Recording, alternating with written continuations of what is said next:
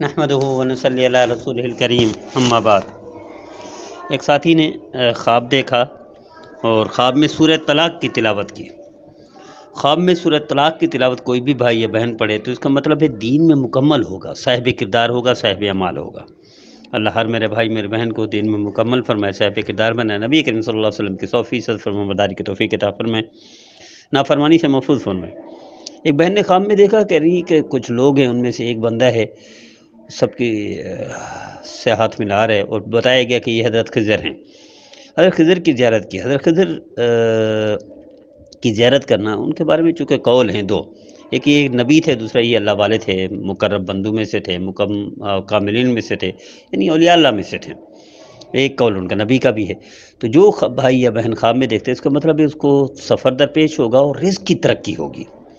اور عمر بھی دراز ہوگی۔ اللہ ہر میرے بھائی، میرے بہن کو لمبے زندگی کے ساتھ صاحب عمال بنے، رزق وسیع عطا فرمائے، بغیر مشقت کے عطا فرمائے، حلال رزق عطا فرمائے، وافر مقدار میں عطا فرمائے۔ اللہ نسلوں کو بھی محتاج نہ بنے، مفلسی کا منہ بھی نہ دکھائے۔ اللہ ہم سب کو نبی کریم صلی اللہ علیہ وسلم کے فرمارداری کی توفیق عطا فرمائے، نافرمانی سے محفوظ ہیں ایک بہن نے خواب میں دیکھا کہ وہ کیکر کے درخت کے پتے اتار رہی ہے۔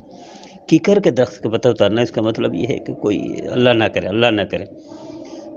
بدنامی ہو سکتی ہے یا کوئی لڑائی جھگڑا بھی ہو سکتا ہے۔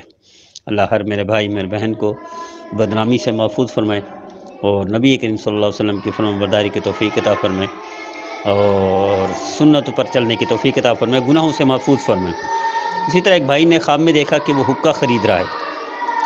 حکا پیتا نہیں ہے لیکن حکا خرید رہا ہے خواب میں۔ خواب میں حکا خرید رہا ہے، اس کا مطلب ہے اللہ کہیں سے کوئی مال عطا فرمائیں گے یا کوئی تحفہ ملے گا۔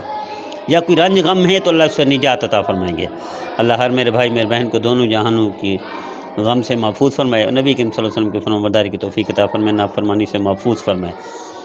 میں درخواست کرتا ہوں اپنے بھائیوں بہنوں سے کہ یہ خالص اصلاحی اور تربیتی سلسلہ چلا ہے۔ خود بھی سنیں، دوسروں کو بھی سنائیں۔ خود بھی عمل کریں، دوسروں کو بھی کریں۔ ہم نے طے کر لیا تھا۔